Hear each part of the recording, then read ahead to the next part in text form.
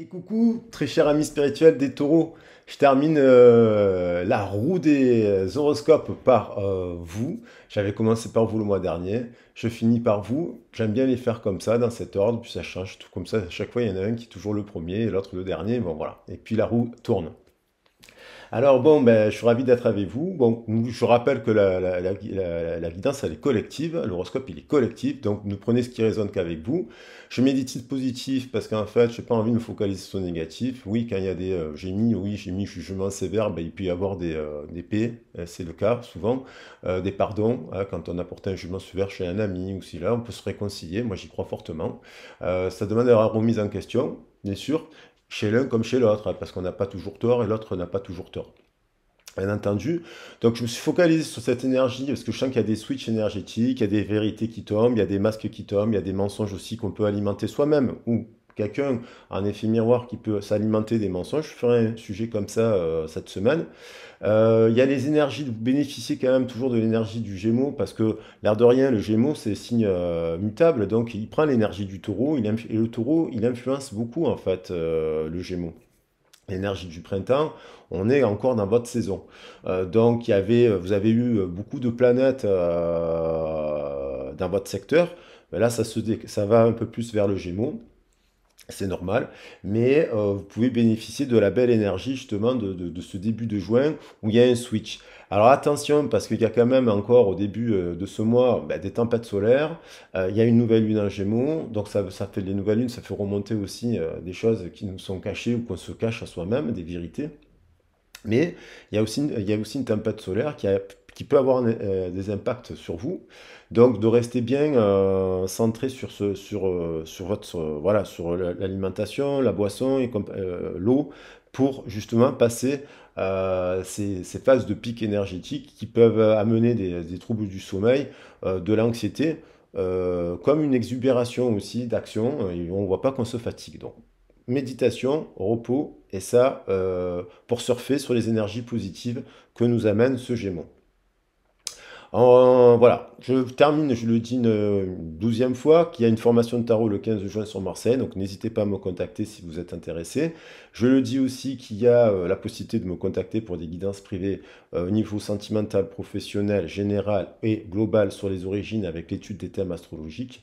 Euh, voilà, donc ça c'est, vous pouvez me contacter pour avoir mes tarifs. vous avez mon mail dans le descriptif de la vidéo et vous avez mon CV que j'ai mis comme ça en ligne pour que vous puissiez voir un peu le parcours professionnel que j'ai eu dans les métiers de la communication. Voilà. Allez, on va, on va regarder un peu là euh, les messages. Alors c'est un mois où les cartes elles. Moi après, c'est sûr que c'est moi qui fais passer les messages, mais j'ai décidé de faire passer des messages positifs. Donc forcément, il y a eu beaucoup de cartes qui nous parlent de triomphe, qui nous parlent de succès, qui nous parlent de, euh, revirement de situation euh, malgré une situation négative. Euh, voilà, donc l'intention, elle est de vous offrir une guidance collective qui vous donne de la bonne énergie. Après, on va regarder les cartes, bien sûr, ça va être nuancé, et on va, voir un peu, on va voir un petit peu euh, qu'est-ce qui, ressort? Donc, il y a des messages qui qu'on, retrouve dans, les autres tirages qui sont complémentaires. Moi, je fais le principe des messages collectifs, c'est la roue. Donc vous pouvez aller voir votre signe solaire, votre signe lunaire, votre signe vénusien, votre signe en, Lilith, votre nœud nord, et avoir un, maximum de messages qui pourraient vous donner des clés de compréhension par rapport à votre situation. Donc là, on a le point du futur. Le futur n'existe pas. Euh, il n'y a que le présent qui existe. Il contient des traces. Dans le présent, on a des traces des informations du futur et des informations du passé. Mais le futur, on peut projeter des choses et créer des choses. C'est la notion de projet. Projeter en avant, c'est jeter en avant des idées pour qu'elles puissent se réaliser dans la matière. Donc le futur, sur certaines actions, bien entendu, euh, vous pouvez euh, avancer. Vous pouvez apprendre à faire du vélo, vous pouvez apprendre à créer une association, vous pouvez apprendre à faire des choses. Euh, mais après, il y a des choses qui sont aussi destinées. Voilà, il y a des choses qui sont destinées.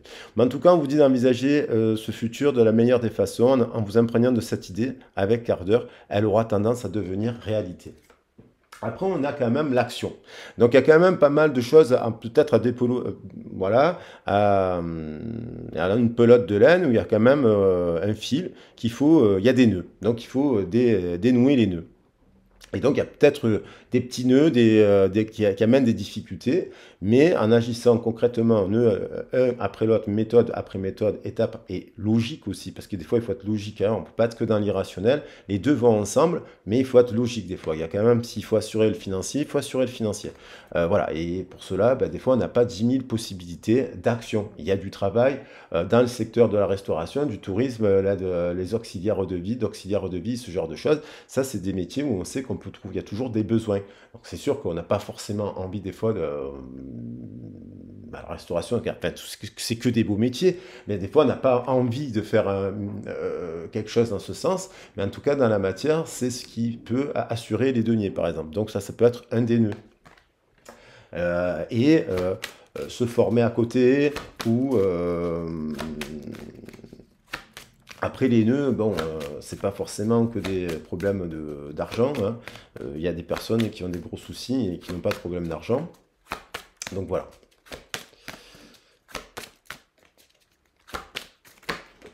On a la cohérence, il y a quand même euh, un retour à, la cohérence. Il y a beaucoup de taureaux là qui, ben, justement, qui sont dans l'action, qui créent leur futur, qui se mettent en cohérence narrative avec euh, leurs racines, leur, euh, leur plaisir, leur confiance, leur énergie, leur cœur, la, vérité. Ils sont en cohérence. Donc du coup, quand vous êtes en cohérence entre vos paroles et vos actions, tout devient, l'énergie circule librement. Alors ça, bien sûr, c'est des travaux qu'on peut mettre en place avec la méditation et euh, la respiration, et des techniques comme ça qui peuvent amener euh, à débloquer, à refaire circuler de l'énergie, bien entendu. Cette cohérence, je vais la mettre ici parce que elle nous parle quand même de euh, pont arc-en-ciel. Alors, il y a des obstacles, elle saute. Il y a encore peut-être des obstacles à franchir. Donc, on a la carte du chariot et du cheval. obstacle par rapport à votre liberté. Peut-être que vous vous sentez emprisonné là vous êtes dans un emploi, peut-être dans, peut-être dans un emploi, peut-être dans un, euh, dans une relation euh, de couple. Il y a peut-être des obstacles à franchir pour faire tourner la roue. Mais il y a pu avoir aussi euh, de la colère. Il y a peut-être des choses qui ont été exprimées sous forme de colère, mais la colère, elle est là aussi pour défendre ses valeurs. L'énergie rouge de Mars, elle est positive quand il s'agit de défendre son territoire, ses valeurs, parce que si on, manque, si, on vous a manqué de respect, euh, la, colère, c'est, euh, on a tendance à dire qu'il ne faut jamais se mettre en colère. Bon, quand on rentre chez vous sans que on, vous, a, vous, vous l'avez autorisé, vous mettez en colère quand même. Hein. Donc la vision, on vous demande d'observer. Vous voyez, on voit euh, une poudre, on voit euh, les étoiles, on voit euh, arriver quelque chose de positif. Alors, il y a quelque chose qui peut naître de cette situation et de revenir à... Voilà, n'ayez pas peur aussi de vous mettre en colère. Il y, en a qui, ne savent pas se mettre en colère. Il y a des coachs pour ça, pour se, pour se défendre. Euh, n'ayez pas peur euh, de vous mettre en colère si vous devez vous mettre en colère. Ça ne veut pas dire que, euh, sauf si, sauf si vous êtes confronté à une situation, la, personne elle est en colère du matin au soir. Là, c'est une colère maladive, basée sur la peur. Bien entendu, les gens qui se mettent tout le temps en colère, ils ont peur. Après, il y a des gens qui se servent de l'énergie de la colère simplement pour euh, mettre, euh, ben, affronter le conflit, se défendre et régler euh, des situations, des fois au tribunal. on se met en colère, on va au tribunal parce qu'il y a un abus de confiance, par exemple. Ça peut vous parler, ça peut vous évoquer quelque chose. Alors, fin des obstacles, on va dire, action, fin des obstacles, fin de, fin de une nouvelle vision, une nouvelle façon de voir. on va prendre quelques messages avec le tarot des anges pour voir qu'est-ce qu'on nous dit dans la matière. Le rêveur, fin de cycle, le rêveur, renouveau et commencement. D'avoir un axe de foi. Soyez fidèle à vos rêves, des occasions inattendues se profilent à l'horizon. Donc en restant fidèle à vos rêves, même s'il y a des obstacles, même si ça vous met en colère, même s'il y a de la frustration passagère, euh, si cela vous évoque quelque chose, on vous dit d'avoir foi en vos rêves, vous franchirez, vous aurez des nouvelles occasions et vous allez profiter donc de nouvelles euh, des occasions inattendues d'ailleurs qui vont venir, qui se pointent à l'horizon. Je vais prendre celle-là. Il y a le roi d'eau, il y a le 10 d'eau. Donc on a quand même, euh, vous savez que le taureau il travaille avec le scorpion, et le taureau travaille avec les signes d'eau. Donc, euh, digne de confiance, on parle de quelqu'un de digne de confiance, de respecter et de cultiver. C'est peut-être vous, c'est peut-être une personne que vous connaissez dans votre emploi, ou un formateur, une formatrice qui vous accompagne dans votre accompagnement, ou tout simplement vous êtes à la retraite et des personnes qui sont là, euh, qui vous inspirent confiance euh, lors de vos activités. On a, on a également ici, on vous dit d'ouvrir votre cœur et votre esprit à ceux qui vous entourent. Des conseils parle de conseils bien sentis et dignes de confiance vous sont prodigués. Un travail caritatif. Donc ça, ça peut être aussi des choses que vous, faites dans la matière, en dehors de vos activités, dans le bénévolat, et qu'en fait, vous êtes quelqu'un qui motive, qui crée, qui fait, fait, faire croire. Moi, je connais des gens qui ont 80 ans, 90 ans, ils continuent à faire des actions, ils donnent des livres, ils font des brocantes, ils font des brouettes de livres, ils vont les donner dans des enfants. Ils font rêver les gens et il leur apporte de la joie et du bonheur. Euh, et surtout, il rencontre plein de monde. Voilà. Et donc, ça, c'est positif. Une vie familiale heureuse et enrichissante, vos besoins affectifs et matériels sont comblés, des relations dignes de confiance. On nous parle de confiance. Alors, est-ce qu'il y a eu un abus de confiance? Parce que j'ai dit obstacle, colère, abus de confiance. Euh, là, on nous parle de hum, quand même que vous pourriez avoir peut-être des obstacles dans le, matériel, mais d'avoir vraiment euh, la chance d'avoir une super famille. Ça, ça, voilà. Après, on nous parle également de retrouver de la confiance, de retrouver de l'unité familiale, de retrouver des valeurs et des relations, de s'entourer de personnes dignes de confiance. Ça peut être le cas au travail, que malgré les obstacles, vous avez une super équipe, par exemple. Des fois, c'est pas le cas, des fois, ça l'est. On a de la structure, on a l'énergie de la Terre, on a l'énergie du taureau. L'organisation, oh, leadership, structure, discipline, leadership. Peut-être que vous êtes... Euh, vous incarnez cela, ou vous pourriez l'incarner. Vous pourriez l'incarner au travers justement euh, d'une activité euh, d'ordre caritatif. On a quand même un retour à l'équilibre. Euh, on a quand même un retour à l'équilibre avec la tempérance et l'archange Jadpiel, besoin d'équilibre de modération, bien sûr un compromis nécessaire entre l'aspect familial et l'aspect peut-être matériel. Et on a également une libération, une phase connaît son dénouement, comme s'il y avait une transformation, une prise de conscience que l'heure était venue de passer à autre chose. Donc peut-être euh, dans l'esprit, mais aussi peut-être dans la matière, euh, en changeant d'emploi si vous le pouvez, et en mettant de la méthodologie pour franchir euh, l'obstacle, si obstacle il y a. Et puis on a le 7 de terre, on a quand même des personnes qui ont des graines qui sont solidement voilà, euh, euh, plantées, d'autres, attention, parce qu'il y a peut-être des graines euh, qui ne sont pas si solidement implantées, parce qu'il faut du temps pour faire pousser des plantes et récolter des fruits. Un arbre, ça met des années, surtout quand, lorsque vous êtes dans des projets caritatifs, humanistes et associatifs, ben, il faut, au bout d'un moment, il faut manger, quoi, parce que, voilà. donc faire face à des inquiétudes, des fois, mais ça nous parle de récolter et de, de mettre en pause certaines situations pour éviter, parce que les choses sont en train de s'améliorer. Une situation difficile connaît son dénouement. Voilà, de prendre un peu de recul sur la situation qui vous préoccupe pour pouvoir euh, voir la chose sous un autre angle. On n'a que des belles cartes, en fait. Le, euh, quatre arcanes majeurs qui tombent comme ça, roi d'eau, 10 d'eau, c'est quand même, voilà. Il y a juste ça, attention. Après, bien entendu, je vous le souhaite à tout le monde, mais c'est collectif. C'est très bien qu'il y a des taureaux qui vont passer un mois difficile aussi. Donc, euh, et qui ont des obstacles, hein, et de la colère aussi. Le rêveur. Donc, on, a, on rêve de romance. On vous dit d'avoir foi en vos rêves et que vous êtes sur la bonne voie.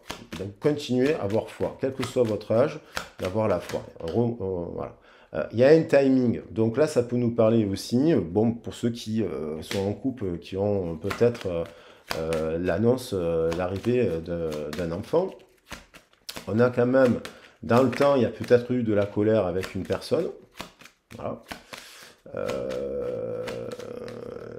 il y a le roi d'eau, donc c'est peut-être quelqu'un que ça vous parle, ça, l'énergie de l'eau. Bon, mais ça peut travailler avec vous. Hein. Ça peut être aussi vous qui l'avez dans votre thème, mais ça peut être une personne avec qui vous avez créé aussi une famille. Vous avez le désir de créer une famille. Et, euh,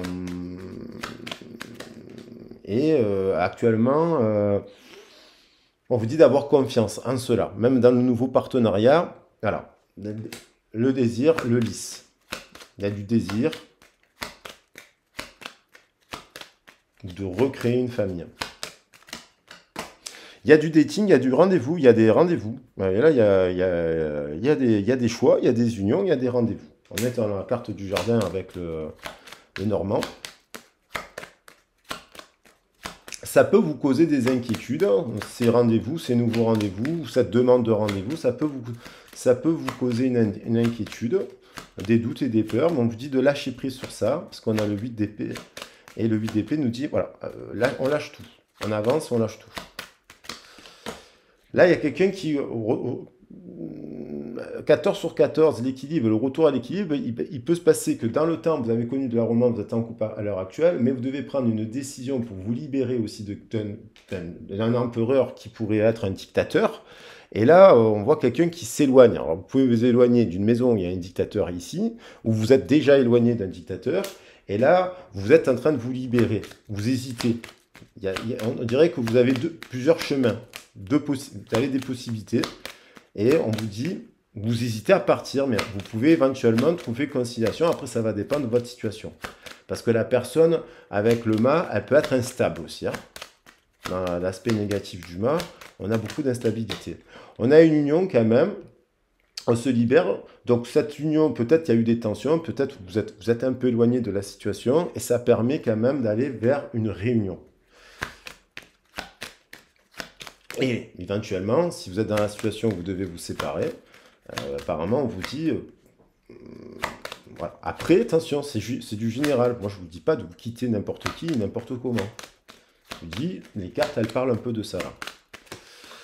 Et en fait, il y a quand même euh, une communication ouais, on a le langage des oiseaux, donc euh, de se rassembler avec euh, une famille, de se rassembler avec des amis qui parlent la même langue que vous, la famille d'âme. On a le 7 de terre et le 7 de terre. Donc, il y a 14 et 14, et voilà. Donc euh, on retrouve quand même de la tempérance, de la conciliation, de la, de la libération aussi, parce que si doit faire la, la, le retour à l'équilibre passe parfois par euh, la fin de la colère, parce qu'on en a marre de se mettre en colère dans une situation qui avance pas. Voilà. Donc, on a quand même toutes ces cartes. Euh, ben, je vais mettre le 10 d'eau parce qu'elle est belle au centre. Euh, cette bague. Et de vous dire que oui, le futur peut être meilleur que si vous êtes dans une situation complexe. Voilà. Alors bien sûr, c'est bien de prendre conseil hein, euh, pour faire un point, pour voir euh, si la situation... Et ça peut être aussi euh, une discussion amicale, une reprise de discussion amicale, voilà, avec une personne. Hein. On reprend, on, se met en cohérence, pourquoi il y a des colères, pourquoi il y a des peurs, pourquoi c'est bloqué, et on se met en cohérence et on trouve une conciliation. Voilà. Je vous souhaite un merveilleux mois de juin. J'espère qu'il y aura de l'équilibre, j'espère qu'il y aura du switch, j'espère qu'il y aura tout ça, j'espère qu'il y aura une vague de pensées positives. Vous savez, si on alimente la pensée positive, euh, la pensée positive collectivement, on arrive à créer de l'énergie, d'amour et du positif. Si on alimente que de la pensée négative, euh, ça on alimente cela. Après, c'est important aussi de nuancer parce qu'entre l'ombre et la lumière, il faut aborder certains sujets. Quand je fais d'autres tirages, quand je fais d'autres tirages, euh, quand vous savez que je fais des générales et je fais du sentimental, bon, il y a des sujets à aborder. Moi, je pense qu'il y a des switches, il y a des retours à l'équilibre et des libérations. Je pense aussi qu'il y a des couples qui, battent de l'aile et qui vont se séparer parce qu'ils ils ont rencontré d'autres personnes, notamment peut-être euh, une autre personne là, extérieure au couple, et qui finalement, euh, voilà. Je pense qu'il y aura des choses comme ça. Je vous souhaite que ça vous arrive si ça vous, si ça vous parle. Et puis, voilà. Allez, je prends un petit message des anges.